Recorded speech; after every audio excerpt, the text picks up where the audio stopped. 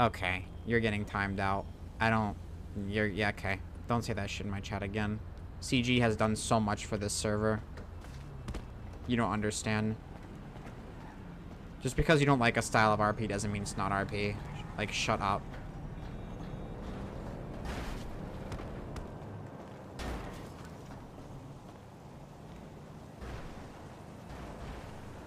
You fucking realize without CG and a lot of the OGs and NoPixel, NoPixel wouldn't even fucking be here today without them? Give them some goddamn respect. You don't understand how long these streamers have been playing their characters and been playing GTA RP.